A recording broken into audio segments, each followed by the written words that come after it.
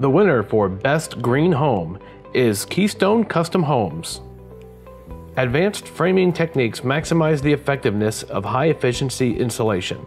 Combined with energy efficient LED lighting, this home will use 35% less energy than a standard new home. Congratulations, Keystone Custom Homes, on building high quality properties that save on average 3,000 kilowatt hours of electricity annually.